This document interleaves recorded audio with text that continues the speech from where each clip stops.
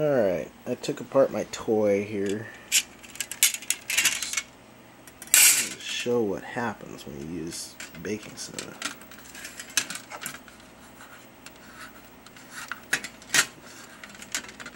Just nasty stuff all over these plates.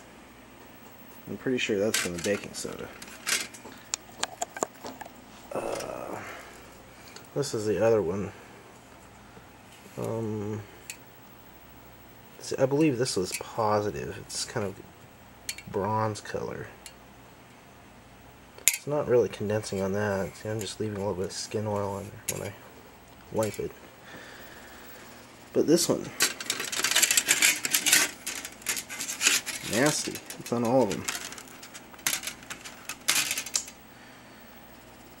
Oh, so no more baking soda. This is gross.